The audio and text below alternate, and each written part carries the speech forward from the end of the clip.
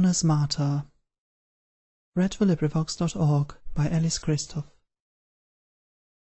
moon is full this winter night, The stars are clear, though few, And every window glistens bright With leaves of frozen dew.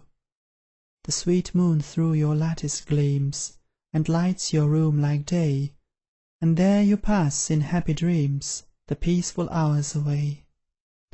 While I, with effort hardly quelling The anguish in my breast, Wander about the silent dwelling, And cannot think of rest.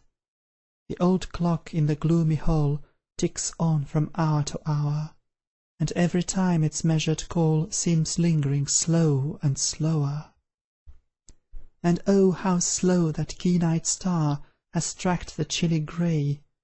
What, watching yet?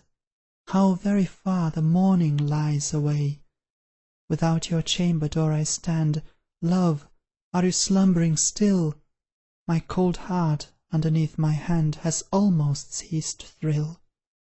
Bleak, bleak the east wind sobs and sighs, And drowns the turret bell, Whose sad note, undistinguished, dies, Unheard, like my farewell. To morrow's scorn will blight my name, And hate will trample me, Will load me with a coward's shame, A traitor's perjury. False friends will launch their covert sneers, True friends will wish me dead, And I shall cause the bitterest tears That you have ever shed.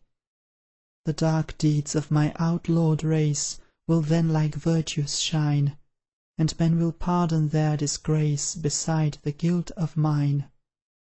For, who forgives the accursed crime Of dastard treachery?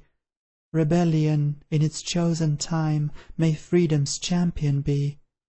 Revenge may stain a righteous sword, It may be just to slay; But traitor, traitor!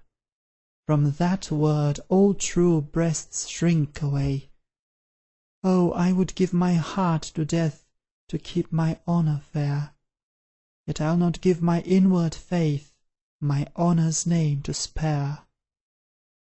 Not even to keep your priceless love, Dare I, beloved, deceive; This treason should the future prove, Then, only then, believe. I know the path I ought to go, I follow fiercely, Inquiring not what deeper woe Stern duty stores for me. So foes pursue, and colder lies Mistrust me every one; Let me be false in others' eyes, If faithful in my own. Ellis. This recording is in the public domain.